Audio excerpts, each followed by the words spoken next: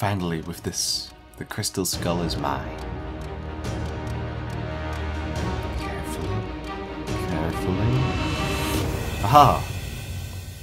No, no, no, no, no!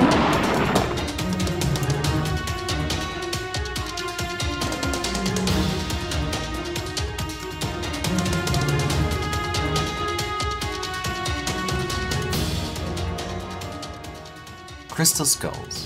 What are they? An ancient artifact? Mayan treasure? An elaborate hoax? A means to sell vodka?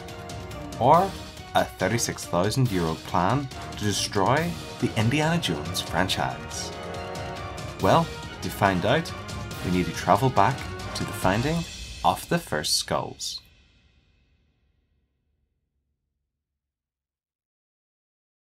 The crystal skulls are said to have been part of a number of Native American oral traditions. In fact, many people believe that there are 13 of these skulls and that they hold mystical power. Stories about the skulls focus heavily on their perceived supernatural powers. Joshua Shapiro, co authors of The Mysteries of the Crystal Skulls Revealed, cites claims of healings and expanded psychic abilities from people who have been in the presence of these crystal skulls. Shapiro says, We believe the crystal skulls are a form of computer which are able to record energy and vibrations that occur around them. The skulls will pictorially replay all events or images of the people who have come into contact with them, meaning that they contain the history of the world. Now, of course, most archaeologists and scientists are skeptical to say the least. But Dan Aykroyd definitely is not. And he's even created a vodka based in the things. But away from selling vodka, is there any truth to the claims about the skulls? Well, the theme of skulls was prominent in Mesoamerican artwork, particularly among the Aztecs. So the connection between these artifacts and these civilizations is actually quite fitting. But the issue is, is that there's no real historic evidence of the creation or use of the crystal skulls.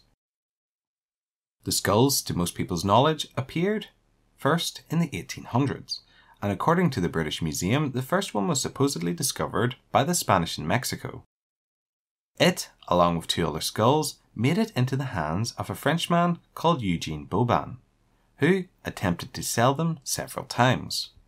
Interestingly, at the time, Boban attempted to sell one of the skulls to the museum back in Mexico, but they were not interested.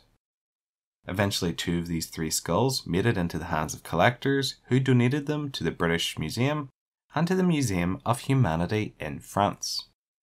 When they acquired the skulls, the museums naturally made inquiries to the skulls' backgrounds and discovered that they were made with crystals sourced from Madagascar or Brazil, both of which would, of course, be almost impossible for the Aztecs or Mayans to acquire. Experts were also quite suspicious of the fact that someone could acquire three of these so called priceless artifacts so easily and this led to inquiries into archaeological digs from the region, which of course showed that no crystal skulls or anything directly relating to them were ever found. At least, not on record. When further examining the skulls, marks left by modern era drills and other jewelering equipment were found, further adding to the suspicion that the skulls were a hoax and likely made by Europeans, possibly by Germans. Thus, most experts conclude that the skulls were nothing but a hoax, at least as far as their Mesoamerican heritage. The skulls were likely a scam in the 1800s, at a time when rich people were buying historic artifacts at an alarming rate, and of course there was a massive amount of money to be made. The skulls were also quite possibly a way to become famous. But we will see that next time. Well, what do you think of the crystal skulls?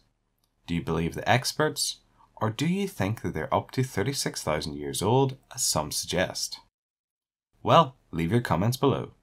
and make sure to check back for part 2 where we will look at the most famous crystal skull.